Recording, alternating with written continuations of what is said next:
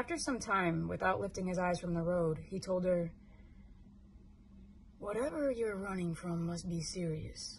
You've got no money and no phone, and haven't asked to borrow mine to let anyone know you're okay. When this failed to prompt a confession, he tried again. You can trust me. I'm a wonder at keeping secrets. My grandmother who raised me is dying of a disease that stole her memory, so now she's lost in time and everyone is a stranger.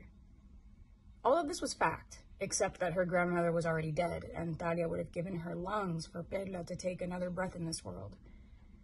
My parents won't let me visit her out of revenge because she never approved of their marriage.